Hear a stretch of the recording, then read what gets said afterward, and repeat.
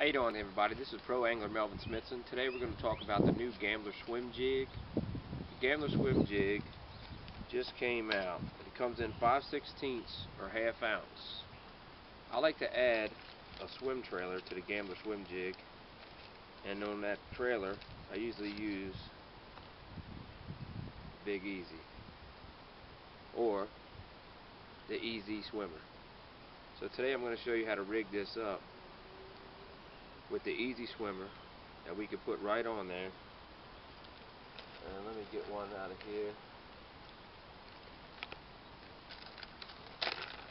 Today we're going to put the Easy Swimmer Copperfield color.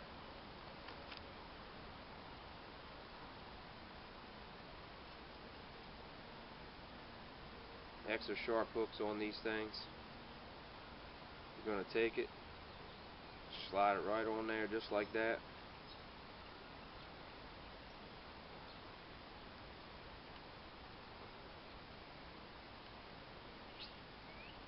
Up on there. And there you go. Gambler swim jig with a little easy swimmer. Ready to go